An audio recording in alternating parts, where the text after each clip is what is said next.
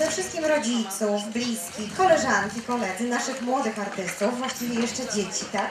Bo to grupa jest e, dzieci e, w wieku od 7 tak mniej więcej do 10 lat, e, które dzisiaj pokażą Państwu spektakl pod tytułem Dzieci Pana Astronoma według Wandy Chotomskiej z mojej adaptacji. Dzieci pracowały pół semestru nad tą dzisiejszą sztuką. E, I są to dzieci z marek, ponieważ Teatr Dzieci Dzieciom prowadzę i w Radzyminie, i w Markach. Może niedługo jeszcze gdzieś będę otwierać kolejne filie. Dzieci są chętne, zdolne i naprawdę warto to robić. Ja kocham swoją pracę. Dlatego też chciałabym bardzo serdecznie dzisiaj zaprosić na to przedstawienie i dodam jeszcze e, taką moją prośbę, ponieważ Dzisiejszy e, dochód z biletów przeznaczam w całości na pomoc w leczeniu pani Agnieszki Kostrzewy. Jest to mieszkanka Radzymina, która od półtora roku e, jest chora na białaczkę.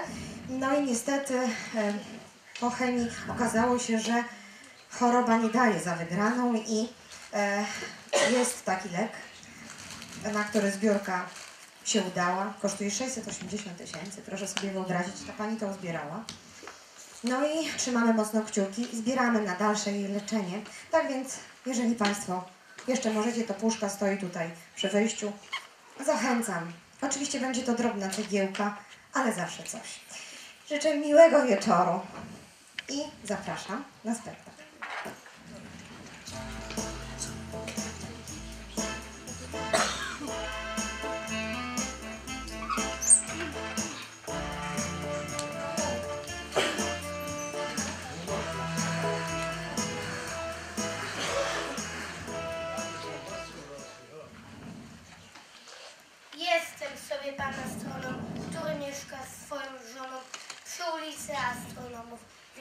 Bardzo wielu domów. Tak, to mój astronom. Przez soczewki i lunety bada gwiazdy i planety. Mamy dwoje dzieci naraz, Bliźniąt para. tylko z nimi jest sam baras. No i kropka. A to luneta, nasza ciotka. Jestem ciotka Luneta, ważna ze mnie jest kobieta, a córeczka Luneteczka. Wszystko powiększać i widzieć muszę, bo inaczej się uruszę. Tak, tak, wszystko wielkie lubimy, bo inaczej się nudzimy. Prawda, córeczko Luneteczko? Nie bójcie się, dzieci. Ciotka tak tylko mówi dla draki. Dzieci rosną we dnie, nocą, piją, jedzą oraz psocą. Wiem, wiem, dzieci krótko trzymać trzeba, bo inaczej bieda. A ja nakarmię tego kotka, który siedzi tu na schodkach. Oj, mamusiu, dziwny kotek, on nie lubi nawet szprotek, nie smakuje mu śmietana, to przegonię go już z rana. A ja latareczkę wezmę w rączki i popuszczę sąsiadom zajączki.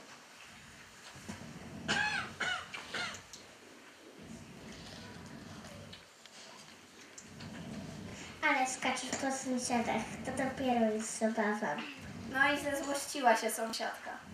To nie dzieci, to gagatki. Nie rozumiem tej zagadki. Niby grzeczne i spokojne, ale wciąż prowadzą wojnę. Spokój! Koniec tej zabawy! Mężu, zabierz dzieci na spacerek. Tak, spacerek mały będzie doskonały. Będę dla nich bardzo miły, by bachory się zmęczyły.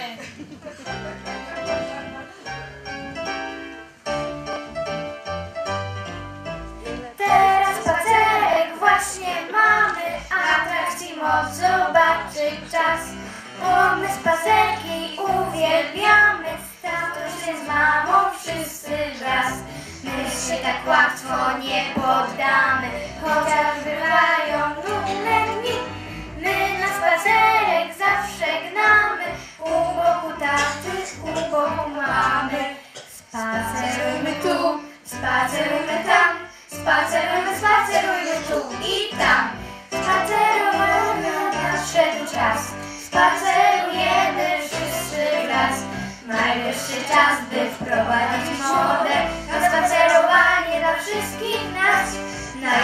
czas, by wprowadzić modę Na? na spacerek.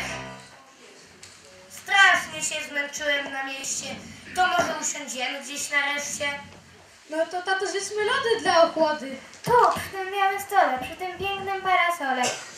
Ja poproszę lody z poziomkami. A ja z bakaliami. No to ja wodę z bąbelkami. Proszę, to wasze lody.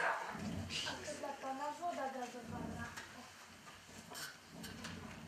Proszę, oto wasze lody, a to dla pana woda gazowana.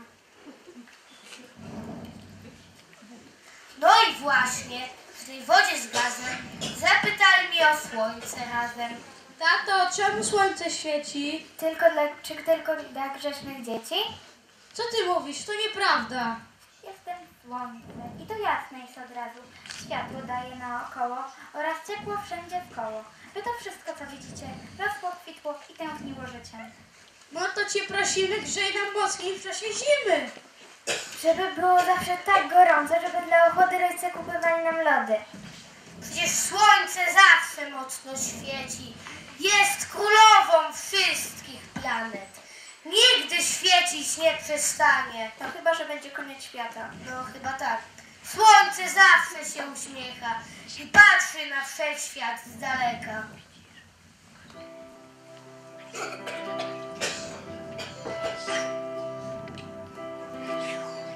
Słoneczko słoko ma złoty blask, wędruje ciągle przez cały czas. Słoneczko z góry uśmiecha się,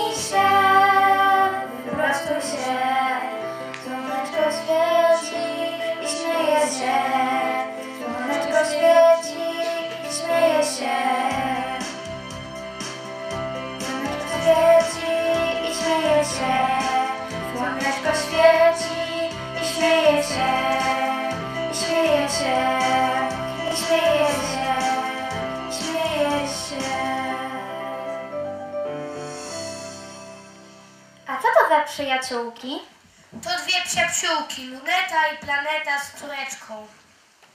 Miło mi bardzo, ale pożegnać się muszę z paniami i zająć moimi słonecznymi promieniami, wyczyścić, wypolerować i na poranek gorący przygotować. Ach, to słońce przyznam jest kapryśne, robi figle nieumyślnie. To przygrzeje w październiku, wtedy grzybów jest bez liku. Albo nie są śledzą sieci wcale, bo wylewa swoje żale. Dobrze, skończmy te wywody. Możesz zapłać za te lody. Kelner, kelner, ile płacę? Poziomkowe, bakaliowe i bąbelki. Mam z tym rachunkiem kłopot wielki. Po słoneczko też tu wpadło, posiedziało, pogadało, ale nic nie zjadło. To jak liczy ten rachunek, drogie panie? Żaden problem, proszę liczyć na kolanie. I jeszcze poproszę wielkie cukiereczki dla mojej malutkiej córeczki. Dobrze, już przynoszę. Proszę bardzo, bardzo proszę. Bardzo lubię te karmelki. Rozum po nich rośnie bardzo wielki. Razem 10 zł będzie. Mężu zapłać proszę, bo ja portfela przy sobie nie noszę. Już, kochani, już opłatę wnoszę. Proszę. Ach, ja jak tych rachunków nie wnoszę. Do domu wróćmy, proszę. No, no to daję słowo. Da... No to odpocznij sobie, wróć do domu i nie tłumacz się nikomu. Lepiej pan się poczuje, jak się w domu zrelaksuje. Odprowadzam pana, proszę.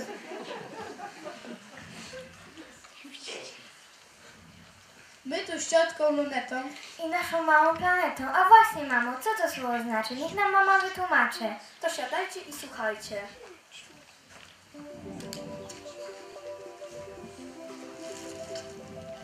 Wokół Słońca biega sobie osiem planet dużych. W dzień i nocy stale są w podróży.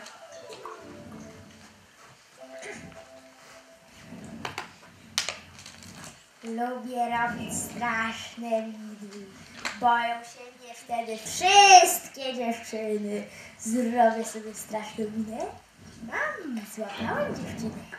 Nie rób Marsie takiej miny, bo nie boję się dziewczyny. To strasznego zrobi Marsa.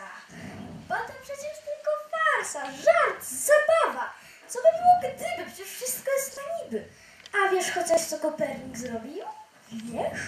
Tak, coś chyba obiło mi się o uszy. Chyba ziemię ruszył. Wstrzymał słońce, ruszył ziemię polskiego plemię. Tak, już sobie wspomniałem. Przecież wszystko to wiedziałem, tylko trochę zapomniałem. Dawno, dawno temu, przed wielu laty, ludzie się nie znali na tym. I nie wiedział nikt z uczonych, jak ten świat jest urządzony. Dalej Saturn, Uran, Neptun, tuż za nimi krąży. Powtarzał wciąż uczynił, że to słońce krąży wokół Ziemi i pojęcia, że tym nie ma już to właśnie krąży Ziemię. Krąży, krąży i bez końca kręci się dookoła słońca. Już rozumiesz? Wielkie rzeczy, to teoria Kopernika. Znam go dobrze, ten wspomnika. Dobrze, to do widzenia, do miłego zobaczenia. Po co ty się tak wysilasz i nad tym głowisz? Witaj, jestem Jowisz. Czy dasz wiarę, że księżyców mam 60 parę? Planetyzm mnie jest doskonała. Żadna inna mi nie dorównała. Żadna inna mi nie zrównała. Chcesz przekonać się, kolego? Proszę, gwiezdny miecz jest do tego.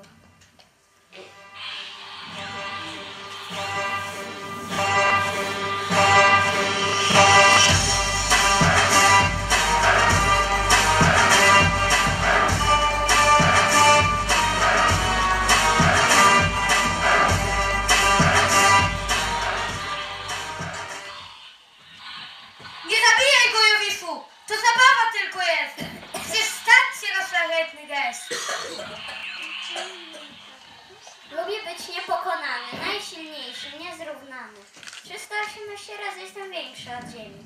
Wiedzą o tym mądrze uczeni. Galileusz już mnie badał. Dawno temu o księżycach mnie ich opowiadał. 69 rycerzy księżycowych masz. Tak, i to jest moja księżycowa straż. Krążą wokół mnie, są mi wierni w nocy i we dnie. Mój Jowiszu, to się wie, to się wie. Nie podkreślaj swojej chwały, wszak już jesteś mały. Tak, Jowiszu, wielki jesteś bardzo, ale ludzie raczej tobą gardzą. Bo my mały, mały księżyc ziemski też jest doskonały. Dookoła Ziemi ciągle biega. Oto on, naszej Ziemi najlepszy kolega. Witam wszystkich serdecznie. Co noc przychodzę do Was ludziska wiecznie. To może Pani planeta będzie mi dziś Matką Ziemią. Nie, to moja mama i nie oddam jej nikomu, bo zostanę sama. Tylko na chwilkę mamy pożyczoną na momencik, kiedy ja, księżyc,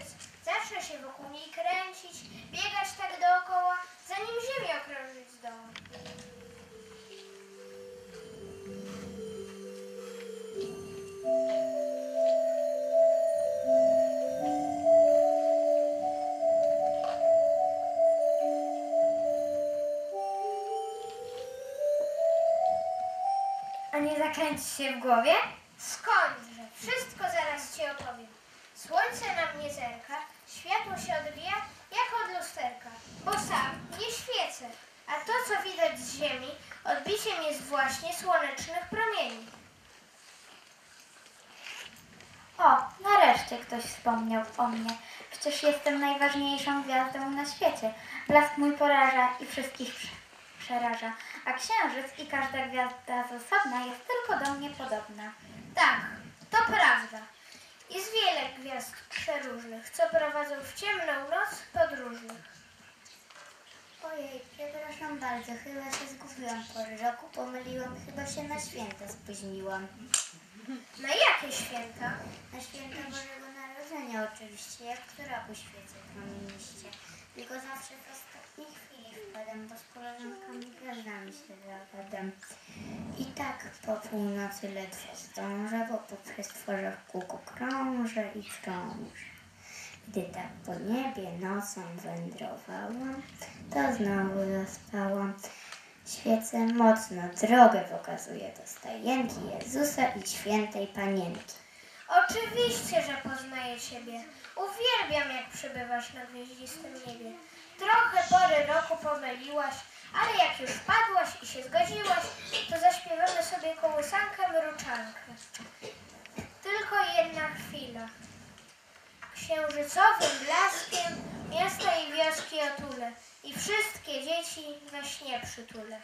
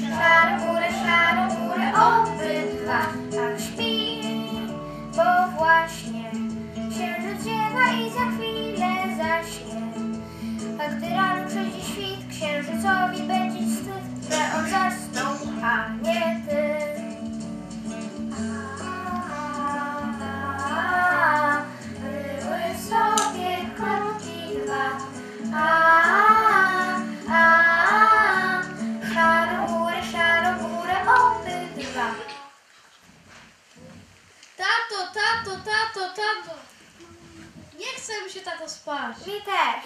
Chcę gwiazdozbiór z tobą grać. To historia wręcz niezwykła. Zrób nam o Zodiaku wykład. To posłuchajcie.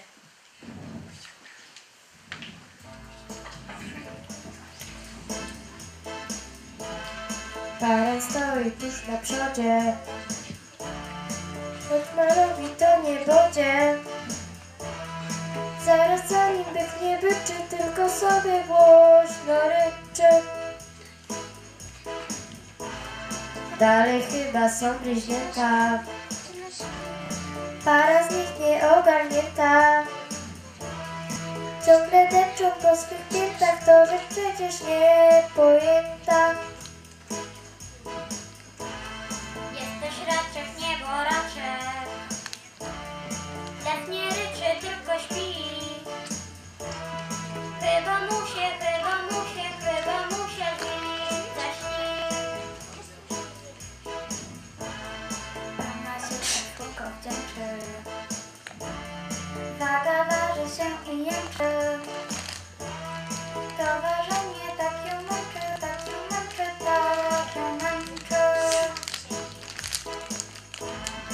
Skorpion kręci już ogonem Powędruje nie w tą stronę Spotka strzelca, co nie strzela Tylko ludzi rozwesela Kozia razem zaśnie bryka. Tylko sobie Santa fika. I spotyka też wodnika, co, czasami też Ryby smażą się na niby. W tym oleju rzepakowym. Bardzo zdrowym, bardzo zdrowym, bardzo zdrowym. I na koniec jest tu baran. Co wygląda już jak taran? To jest właśnie zodiak cały gwiazdozbiorów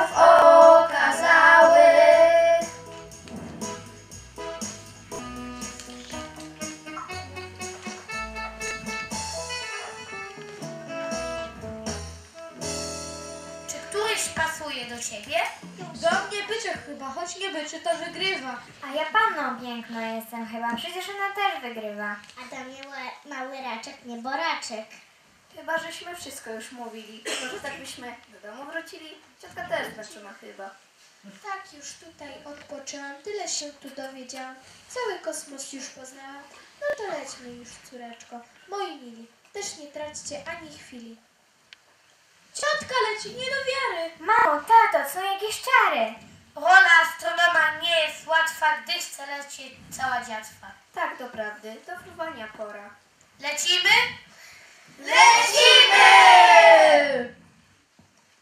Poczekajcie na mnie. Jestem Zorza Polarna. Polecimy w kosmos w nowym roku, a wrócimy dopiero o zmroku. Tą wycieczkę sobie zrobimy, aniołów w niebie zobaczymy, może nawet Jowisza spotkamy. To o księżycach z nim pogadamy. I z Marcem się przywitamy, na słońcu poopalamy. A Wenus z Twardowskim zobaczymy. Jak się diabła nie wystraszymy. Razem z ciotką lunetą na ziemię popatrzymy, bo na księżycu się zbudzimy. Lecimy? Lecimy! Polecimy, polecimy.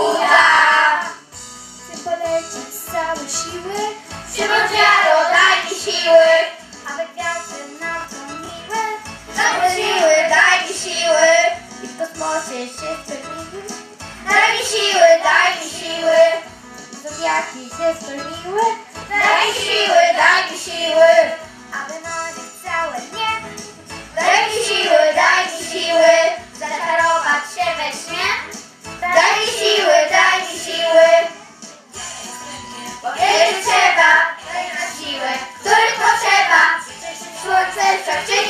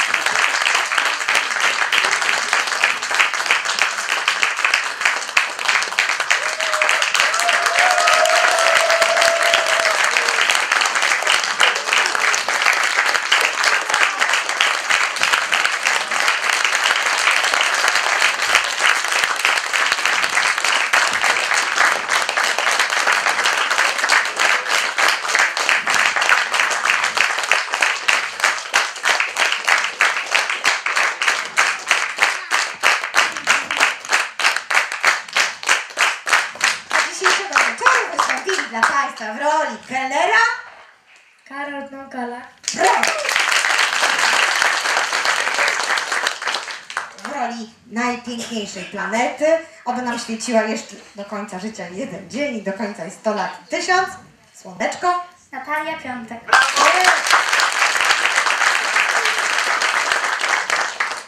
Żona pana astronoma, pani Planeta.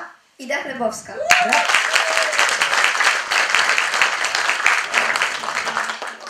Córeczka pana astronoma, teleskopka. Maja Żydowska. Synek pana astronoma, teleskopek. Wiktor Wierzbowski. Brawo!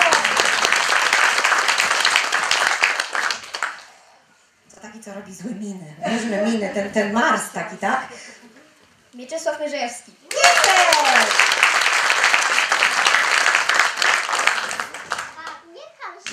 A to był, kto to był? Ktoś z dzieci wie? Kto to był? Powiedz. Jowisz, który walczył Gwiezdne Miecze. To był dzisiaj? Brawo, Bartek. Ciotka Luneta i córeczka ciotki Lunetki Lunetka to były dzisiaj dwie piękne baletnice. Amelia Bielecka. Brawo! Taka najmłodsza koleżanka, jeszcze tu jest jeszcze młodsza, bo to tak towarzystwo czwarta klasa, a tutaj są młodsze dziewczynki, czyli e, Lunetka. Julia Pękalek. To pierwszy!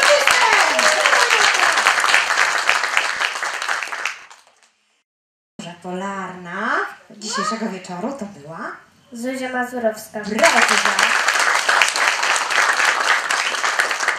No i drogi kotka, który się troszkę spóźnił na schodki, ale później nie spóźniła się jako Zorza Polarna, też młodsza koleżanka od całej reszty. Nie Zorza Polarna, tylko Gwiazda Betlejewska. Tak, to była dzisiaj Pola Mierzejewska. Pola. A ten piękny, żółty jegomość, czyli księżyc. Szymon Siderowicz. Brawo! No i rola główna, rola tytułowa pana stroną dzisiejszego wieczoru kreował dla nas Franek Szpojankowski. Brawo!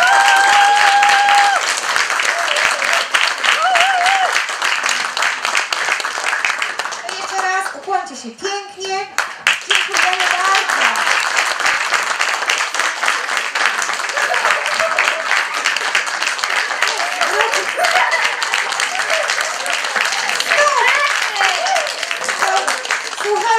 E, macie ochotę, za godzinę zaczynamy przedstawienie o Matejku Janie i Pani Kajetanie. Oczywiście, jeżeli macie ochotę zostać, to zostańcie. E, Ja oczywiście zapraszam na kolejne nasze przedstawienia w czerwcu już. No cóż, a ja im bardzo serdecznie gratuluję. Praca była ciężka. No, pół roku, tak? Se- Pół sezonu pracowali nad sztuką. Następna sztuka będzie pod tytułem Świeżaki, bo jedna z mam Słodziaki, słodziaki, świeżaki, jedna z mam nam pomaga e, właśnie w scenografii. Bardzo dziękuję Pani Mierzejewskiej, która tu z nami jest. E, będziemy mieli piękną scenografię prosto z Biedronki. I to będą świeżaki. Dziękuję